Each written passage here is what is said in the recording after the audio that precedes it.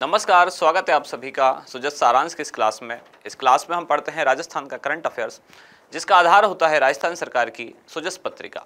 शुरुआत करते हैं हेडलाइंस के साथ। सबसे पहली जानकारी, प्रदेश में सुचारू रूप से हो रही टीबी दवाओं की आपूर्ति। मुख्य सचिव ने नई दिल्ली के बीकानेर हाउस में अधिकारियों की एक बैठक ली, जिसमें राजस्थान से संबंधित जो अधिकारी थे, वो यहाँ शामिल हुए। अगली जानकारी प्रदेश की तीस हज़ार से अधिक माइंस होंगी हरी भरी दरअसल, खान विभाग एक वृक्षारोपण कार्यक्रम चला रहा है। अब खान विभाग की जहाँ जहाँ खान है जहाँ जहाँ माइनिंग क्षेत्र है, साथ के साथ जो भी इनके कार्यालय हैं, वहाँ सभी वृक्षारोपण का एक कार्यक्रम चलाया जाएगा। और इसमें लगभग पाँच लाख पौधे लगाए जाने का लक्ष्य निर्धारित किया गया है। कुछ समय पहले हमने देखा था कि ऐसा ही एक कार्यक्रम चिकित्सा विभाग ने भी शुरू किया है। आज हम चिकित्सा विभाग का वो कार्यक्रम और साथ ही खनन विभाग का ये कार्यक्रम दोनों एक साथ देखेंगे। अगली जानकारी है राजीव का की जिला एवं ब्लॉक स्तरीय समीक्षा बैठक, इसके बाद है समर कंटिजेंसी के तहत स्वीकृत कार्यों को 31 मई तक पूरा करें, शासन सचिव ने ऐसा कहा। और राजस्थान लोक सेवा आयोग से समाचार, जहाँ कई सारी परीक्षाएँ संपन्न की गई हैं। इसके बाद आगे है, विकसित राजस्थान टाइमलाइन के अनुसार तय करें लक्ष्य। ये दो हज़ार सैंतीस की एक टाइमलाइन दी गई है कि दो सॉरी दो यानी कि आज़ादी के 100 वर्ष के बाद, दो तक देश की तस्वीर क्या होगी और उसमें ही राजस्थान तब कहाँ होगा, इसके लिए विकसित राजस्थान लक्ष्य पर काम किया जा रहा है। शैक्षणिक एवं थेरेपिक सम्मेलन के लिए एमओयू यानी कि हस्ता, समझौता पत्र हस्ताक्षरित किया गया है। अब इसमें एक पार्टी है राजस्थान स्कूल शिक्षा परिषद और दूसरा पक्ष है अरावली संस्थान। इन दोनों के मध्य एक समझौता पत्र हस्ताक्षरित किया गया है। मिलावट के खिलाफ राजस्थान में अभियान जारी है। आगे जानकारी है, राजकीय छात्रावासों में प्रवेश के लिए ऑनलाइन आवेदन 30 जुलाई तक हो सकेगा और राजस्थान लोक सेवा आयोग से समाचार, जहाँ वरिष्ठ अध्यापक परीक्षा के अतिरिक्त विचारित सूची के अभ्यर्थियों को अंतिम अवसर दिया जा रहा है। इसके बाद हमारा इंडेक्स आज काम की तीन मुख्य जानकारियाँ हैं। एग्ज़ाम के लिहाज से जो महत्वपूर्ण है, पहली, राजस्थान स्कूल शिक्षा परिषद एवं अरावली संस्थान के मध्य एमओयू यानी कि मेमोरेंडम ऑफ़ अंडरस्टैंडिंग समझौता पत्र। दूसरा है, खनन विभाग का वृक्षारोपण अभियान। और तीसरा, जो पहले एक दिन न्यूज़ में था, हरिवन वृक्षारोपण अभियान। ये खनन विभाग का अभियान है, ये चिकित्सा विभाग का अभियान है। दोनों को आज एक साथ पढ़ेंगे। शुरुआत सबसे पहले राजस्थान स्कूल शिक्षा परिषद एवं अरावली संस्थान के मध्य एमओयू एमओयू वाले क्वेश्चन खूब पूछे जाते हैं राजस्थान के करंट अफेयर्स में तो आपको ध्यान रखना है किन किन के बीच में एमओयू हुआ है और किस लक्ष्य को आधार बनाते हुए एमओयू किया गया है। एक पक्षकार है राजस्थान स्कूल शिक्षा परिषद, दूसरा पक्षकार है अरावली संस्थान इनके मध्य एमओयू हुआ है, जो स्पेशल चाइल्ड हैं, जो विशेष आवश्यकता वाले बच्चे हैं, इनके शैक्षणिक एवं थेरेपिक संबलन के लिए ये समझौता पत्र हस्ताक्षरित किया गया है। अब इसके अनुसार क्या होगा? जयपुर एवं उदयपुर ज़िले में जो संचालित स्टेट मॉडल रिसोर्स केंद्र है, यहाँ पर कुछ संसाधन, मानव संसाधन इनको उपलब्ध कराए जाएँगे। अगली जानकारी है, खनन विभाग का वृक्षारोपण अभियान।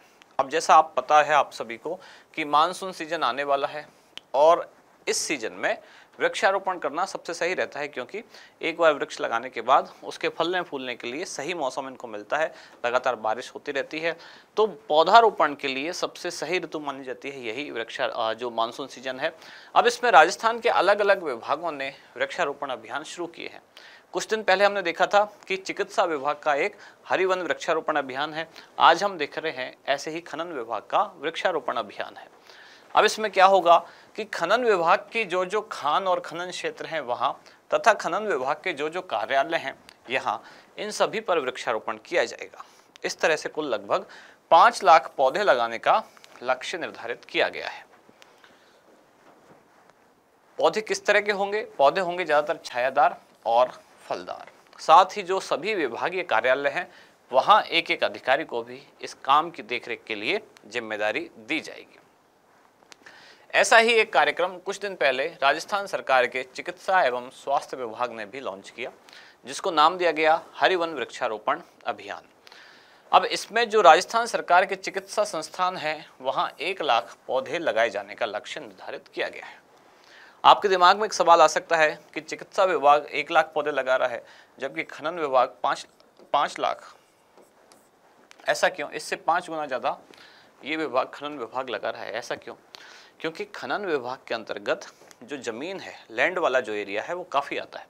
अब इसमें जो खनन विभाग लगा रहा है, वो दो क्षेत्रों में लगाएगा। एक तो जो खान है उनकी, जहाँ जहाँ तो खान वाला जो एरिया है, दूसरा खनन विभाग के जो विभागीय कार्यालय हैं,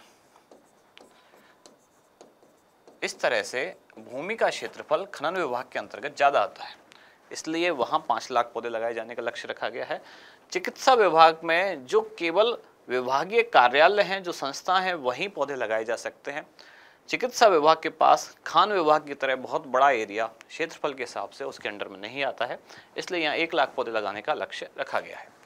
ये कार्यक्रम कब से कब होगा? एक जुलाई से शुरू होकर इकतीस जुलाई 2024 तक चलेगा, जिसमें सामुदायिक स्वास्थ्य केंद्र, साथ ही इससे निचले स्तर के अगर जो चिकित्सा संस्थान है, यह है सी और इससे नीचे स्तर के अगर संस्थान है पी वगैरह, वहाँ पाँच और यदि इससे ऊपर के संस्थान है तो वहाँ प्रत्येक संस्थान में दस पौधे लगाए जाएँगे। इस प्रकार प्रदेश में कुल चिकित्सा विभाग के अंतर्गत एक लाख पौधे लगाए जाने का लक्ष्य रखा गया है। यहाँ भी फलदार और छायादार वृक्षों का चयन किया जाएगा। साथ ही पौधारोपण के पाँच वर्ष तक उनके रखरखाव की ज़िम्मेदारी उसी संबंधित संस्थान की होगी। अभियान के क्रियान्वयन के लिए 11 चिकित्सा संस्थानों को हरिवन मित्र के रूप में राज्य स्तर पर सम्मानित भी किया जाएगा। आज का अभ्यास प्रश्न, विशेष आवश्यकता वाले बच्चों के शैक्षणिक एवं थेरेपिक सम्मेलन हेतु राजस्थान स्कूल शिक्षा परिषद ने निम्नलिखित में से किस संस्थान के साथ एमओयू किया है? आपके ऑप्शन है वेदांत, अरावली, सक्षम या फिर पाठशाला। क्या होगा इसका सही उत्तर? वो आप बताएँ कमेंट्स में। अब मिलते हैं कल अगली न्यूज़ के साथ। अगली क्लास